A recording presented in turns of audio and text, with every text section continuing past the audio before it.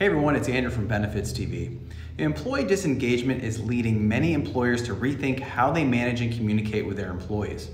Over the past year, we've seen employers move to text platforms, send regular staff surveys, and produce short videos as a way to increase engagement and improve the overall employee experience. So we believe that as the workforce gets younger, it'll be important for employers to research and adopt these forward-thinking ways to communicate. Doing so will improve an employee's connection with their employer and will be a differentiator in the talent war going forward.